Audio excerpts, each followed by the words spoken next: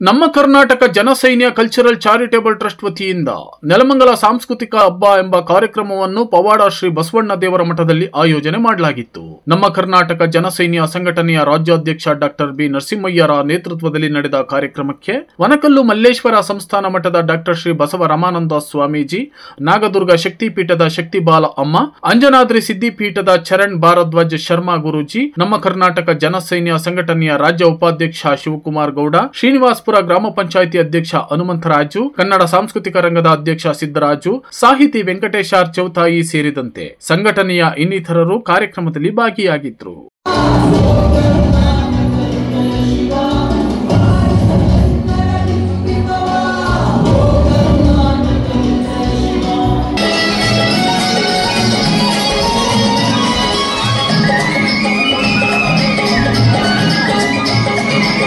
ಅನೇಕ ಭಾಷೆಗಳಿಗೆ ಸವಾಲಾಗಿ ನಿಂತು ಅನೇಕ ಹೆಚ್ಚು ಕೃತಿಗಳನ್ನ ಕನ್ನಡದಲ್ಲಿಯೇ ಸಂಪಾದಿಸುವಂತ ದೊಡ್ಡ ಭಾಷೆ ಅಂದ್ರೆ ಅದು ನಮ್ಮ ಕನ್ನಡ ಭಾಷೆ ಅನ್ನುವಂಥದ್ದು. ಇವತ್ತು ನಿಮಗೆಲ್ಲರಿಗೂ ಅರ್ಥ ಆಗ್ಬೇಕು, ಕನ್ನಡ ಉಳಿತಾ ಇರೋದು ಯಾರಿಂದ ಅಂದ್ರೆ ತರಕಾರಿ ಮಾರುವವರಿಂದ, ಹಳ್ಳಿಯಲ್ಲಿ ಕೆಲಸ ಮಾಡುವವರಿಂದ. ಇವತ್ತು ಗುಡಿ ಕೈಗಾರಿಕೆಯನ್ನ ಗಾರೆ ಕೆಲಸ ಮಾಡುವಂತವರು ಕೂಲಿ ಕಾರ್ಮಿಕರು ಇವತ್ತು ನಿಜವಾಗಿ ಕನ್ನಡವನ್ನು ಉಳಿಸ್ತಾ ಇದ್ದಾರೆ, ಬೆಳೆಸ್ತಾ ಇದ್ದಾರೆ. ತಮ್ಮ ಧ್ವನಿಯನ್ನಾಗಿ ಇಟ್ಟುಕೊಂಡಿದ್ದಾರೆ ಅನ್ನುವಂಥದ್ದು. ಯಾರು ಇವತ್ತು ಏನಾಗಿದೆ ಅಂದ್ರೆ, ಇಂಗ್ಲಿಷ್ ಮಕ್ಕಳಿಗೂ, ನಮ್ಮ ಕನ್ನಡ ಶಾಲೆಯ ಮಕ್ಕಳಿಗೂ ಒಂದು ಪ್ರಯೋಗ ಮಾಡಿದರೆ ನಮ್ಮ ಕನ್ನಡ ಶಾಲೆಯ ಮಕ್ಕಳೇ ನಿಜವಾಗ್ಲೂ ಅಗ್ರಗಣ್ಯ ಸ್ಥಾನದಲ್ಲಿರುವಂತವ್ರು ಅನ್ನುವಂಥದ್ದು. ಈ ಸಂದರ್ಭದಲ್ಲಿ ನೂತನ ವರ್ಷದ ಕ್ಯಾಲೆಂಡರ್ ಬಿಡುಗಡೆಗೊಳಿಸುವ ಮೂಲಕ ವಿವಿಧ ರಂಗಗಳಲ್ಲಿ ಸೇವೆ ಸಲ್ಲಿಸಿದ ಸಾಧಕರನ್ನ ಸನ್ಮಾನಿಸಲಾಯಿತು. ಜೊತೆಗೆ ಮಹಿಳೆಯರಿಗೆ ಸಾಂಕೇತಿಕವಾಗಿ ಸೀರೆಗಳ ವಿತರಣೆ ಕೂಡ ಮಾಡಲಾಯಿತು.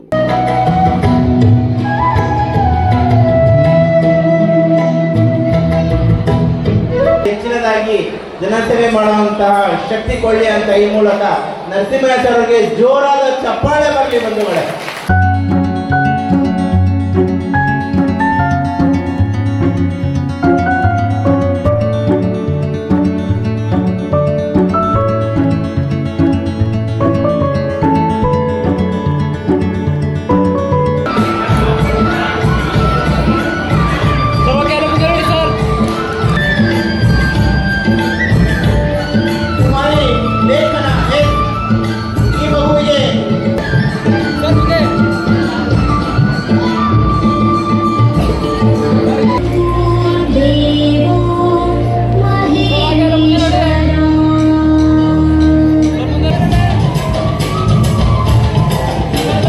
ಇವತ್ತು ನಮ್ಮ Karnataka Janasainya cultural charitable trust ವತಿಯಿಂದ ಒಂಬತ್ತನೇ ವರ್ಷದ ಅದ್ದೂರಿ ಕನ್ನಡ ಸಾಂಸ್ಕೃತಿಕ ಹಬ್ಬ ಅಂತ ಹೇಳ್ಬಿಟ್ಟು ನೆಲಮಂಗಲದಲ್ಲಿ ಆಯೋಜನೆ ಮಾಡಿದ್ದೀವಿ. ಇದಕ್ಕೆ ಕನ್ನಡದ ಒಂದು ಕಂಪು ಸೂಚಿಸಬೇಕಾದ್ರೆ ನಾವು ಯಾವುದೋ ಒಂದು ಪ್ರೈವೇಟ್ ಸ್ಕೂಲಲ್ಲಿ ಓದೋಂಥ ಮಕ್ಕಳನ್ನ ಅಥವಾ ಯಾವುದಾದ್ರೂ ಐ ಫೈ ಸ್ಕೂಲಲ್ಲಿ ಓದೋಂಥ ಮಕ್ಕಳನ್ನ ತಂದು ಮಾಡಿಸೋದ್ರಿಂದ ಯಾವುದೇ ರೀತಿ ಪ್ರಯೋಜನ ಇಲ್ಲ. ಹಾಗಾಗಿ ಸರ್ಕಾರಿ ಶಾಲೆಯ ಮಕ್ಕಳಿಗೆ ಮೊದಲನೇ ಆದ್ಯತೆ. ಏಕೆ ಅಂತಂದರೆ ಅವರೇ ನಮ್ಮ ಮುಂದಿನ ಕನ್ನಡ ಉಳಿಸೋದಕ್ಕೆ, ಕನ್ನಡದ ಬಗ್ಗೆ ಹೋರಾಡೋದು ಬೇಕಾದರೆ ಅವರೇ ಮುಂದಿನ ಪೀಳಿಗೆಯ ಮಕ್ಕಳು ಕನ್ನಡ ಉಳಿಸೋಂಥ ಕೆಲಸ ಮಾಡಕ್ತಾರೆ ಹಂಗನ್ಬಿಟ್ಟು ಪ್ರೈವೇಟ್ ಶಾಲೆಯ ಮಕ್ಕಳನ್ನ ಕಡೆಗಣಿಸ್ತಾ ಇಲ್ಲ. ಆದರೆ ಸರ್ಕಾರಿ ಶಾಲೆಯಲ್ಲಿ ಓದೋಂಥ ಮಕ್ಕಳಿಗೆ ಕನ್ನಡ ಅನ್ನೋದ್ರ ಬಗ್ಗೆ ಹೆಚ್ಚಿನ ಒಂದು ಅರಿವು ಮೂಡುತ್ತದೆ ಅಂತ ಹೇಳ್ತಾ ಇದ್ದೀನಿ.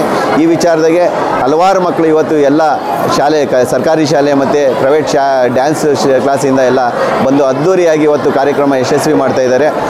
ಎರಡು ಸಾವಿರದ ಇಪ್ಪತ್ತ್ನಾಲ್ಕರ ಕ್ಯಾಲೆಂಡರ್ ಬಿಡುಗಡೆ. ತದನಂತರ ಬಡ ಹೆಣ್ಣು ಮಕ್ಕಳಿಗೆ ಸೀರೆಗಳು ವಿತರಣೆ.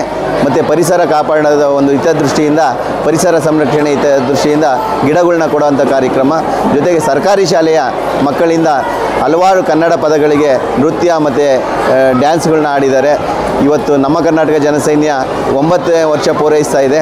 ಆದರೆ ಇನ್ನು ನೂರಾರು ವರ್ಷ ಈ ಕನ್ನಡ ಉಳಿಸೋಂಥ ಕೆಲಸದಲ್ಲಿ ನಾವು ತೊಡಗಿ ಈ ಕಳೆದ ಕನ್ನಡ ಇರತಕ್ಕ ನಮ್ಮ ಜೀವ ಇರತಕ್ಕ ಕೂಡ ಕನ್ನಡ ಉಳಿಸಿ ಬೆಳೆಸೋಂಥ ಕೆಲಸ ಮಾಡ್ತೀವಿ. ಹಾಗಾಗಿ ಎಲ್ಲ ಇವತ್ತು ಭಾಗವಹಿಸಿದಂಥ ಎಲ್ಲ ಭಾಗವಹಿಸಿ, ಅಲ್ಲಿ ಯಶಸ್ವಿ ಮಾಡಿದಂಥ ಎಲ್ಲ ಗುರು ಹಿರಿಯರಿಗೆ ಮತ್ತು ಗಣ್ಯ ವ್ಯಕ್ತಿಗಳಿಗೆ ನಾನು ತುಂಬ ಹೃದಯದ ಅಭಿನಂದನೆಗಳನ್ನ ಸಲ್ಲಿಸ್ತಾ ಇದ್ದೀನಿ.